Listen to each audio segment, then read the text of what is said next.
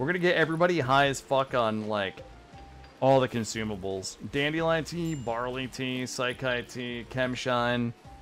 When the guests come to stay here, they leave with two things. They're gonna leave with memories that they created